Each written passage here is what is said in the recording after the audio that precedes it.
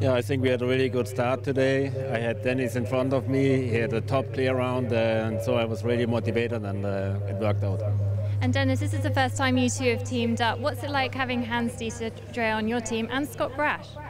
Uh, fantastic. Uh, they're great teammates, and uh, I really enjoy riding with them.